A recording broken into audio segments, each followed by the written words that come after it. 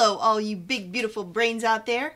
Ever work super hard on something really stressful, and the second it was over and you think maybe I can relax for a minute, boom, you get sick? Today, we're talking about the letdown effect.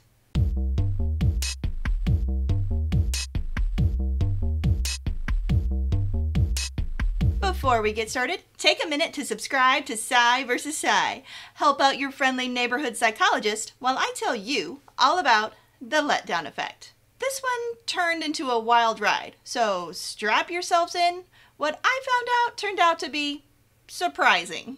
We should start with a quick intro of what I mean by the term letdown. Medically, you'll hear the term letdown used for the release of a certain chemical in the body after the birth of a baby that starts milk production. In aeronautics, you'll hear letdown as the term used for when a plane begins to descend. In my house growing up, the term letdown was used a lot, but it usually had something to do with me. When we talk about the letdown effect in psychology, we're talking about that really common experience of ending a period of prolonged psychological stress with a physical illness. This topic was first brought up to me by someone mentioning how they always get sick once their school semester is over. It's kind of like you prevent yourself from getting sick during finals week through sheer willpower, and then when you don't need to be that vigilant anymore, you will get sick. Of course, I thought, what a great idea for a video, as it seemed to match my own experience, and plus it's just a really catchy name. But as I began researching the scientific literature, things started to get weird. No, not the good kind of weird.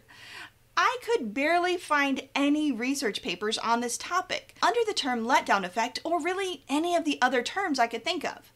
In popular magazines, I found one person who appeared to be the biggest advocate out there on the letdown effect and labeled it as such in all the articles I could find, from the Huffington Post to Psychology Today. However, that person hasn't actually conducted any empirical research on the topic as far as I can tell, nor do they cite any sources. Most of the articles I could find that cover the letdown effect were interviews with that person who was promoting their self help book, but who had never actually conducted scientific research in that area. With some digging, I found out they actually work teaching medical students, not doing research. Both really important jobs, just not the same thing. So I started to wonder is the letdown effect even a real thing? Before we look for the letdown effect, let's acknowledge what we do know about stress and the immune system. There's a whole huge field of science devoted to understanding the links between short and long term stress on immune function. You've got three important systems that all work together to maintain balance in your body the nervous system, the endocrine system, and the immune system. They communicate back and forth with each other using chemicals like neurotransmitters, hormones, and for the immune system, molecules called cytokines.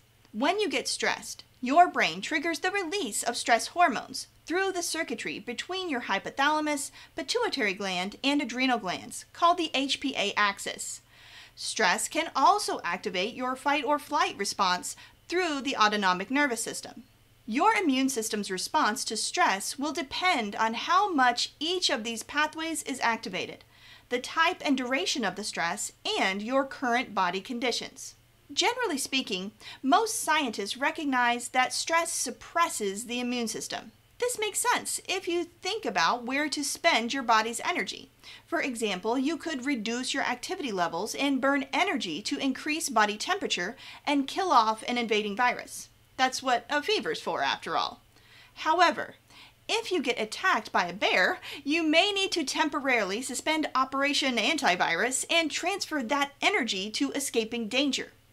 Accordingly, your autonomic nervous system can reduce your immune response to deal with the more immediate threat, temporarily making you more vulnerable to illness. Tons of studies have shown that people who undergo stress are more susceptible to illness, such as increased likelihood of respiratory infection and common colds during times of mental stress, or increased bacterial infections during daily chronic stress. Other studies have shown reduced activity of immune cells during depression, after the death of a loved one, or after a natural disaster like a hurricane. There are many researchers studying how illness can affect your behavior as well, and hundreds of studies around all types of molecules and signals and brain areas involved. Recent research has even indicated that gut microbiota, the friendly bacteria that live in your stomach, play an important role in stress related illnesses.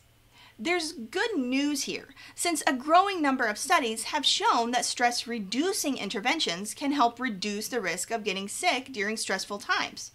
A whole host of techniques, from relaxation training and meditation to hypnosis, have all been shown to lower immune challenges under stress.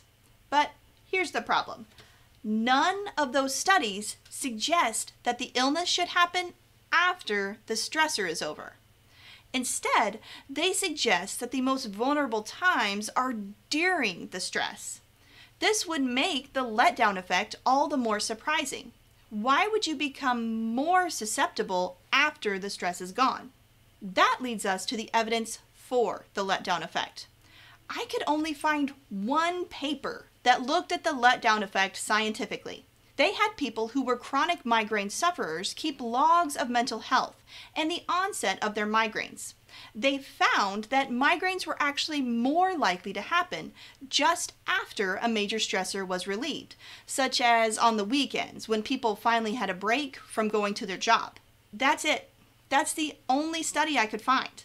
I mean, that's great since being able to predict migraines makes it easier to prevent them, but hardly convinces me that the overall letdown effect I've seen on countless magazine articles is real. These claims just don't seem to match the science. But maybe the research just isn't there yet. For starters, the population you need to study the letdown effect has to, by nature of the effect, be dealing with prolonged periods of stress.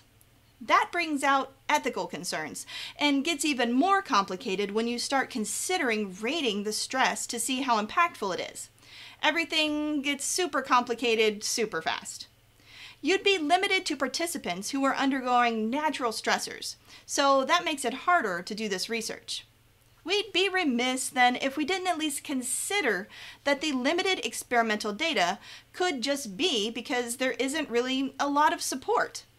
It is entirely possible to know about something anecdotally that has limited scientific support.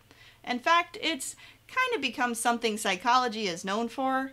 Is this just an area that needs more study, or should psychologists begin looking for alternative explanations?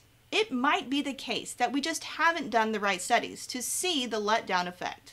However, I'm going to make an alternative suggestion. Maybe it's more of an illusion maybe it turns out that the times after the supposed stress are actually themselves really stressful.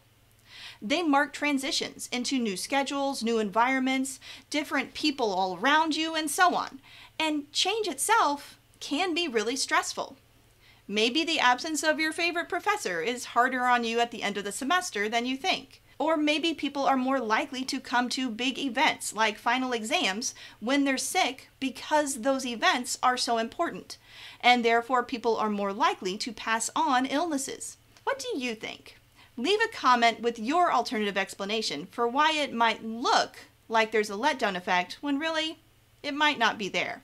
If you want to see more videos from us, about stress, the weird things our brains do to our bodies, or why I'm such a disappointment to my parents, make sure you subscribe to Psy vs. Psy so you can get all of our other videos and you can learn all about the science of psychology. Until next time, keep thinking, and I'll see y'all later. Bye.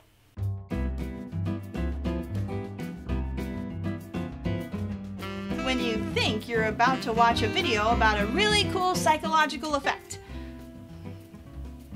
Sorry to be a letdown.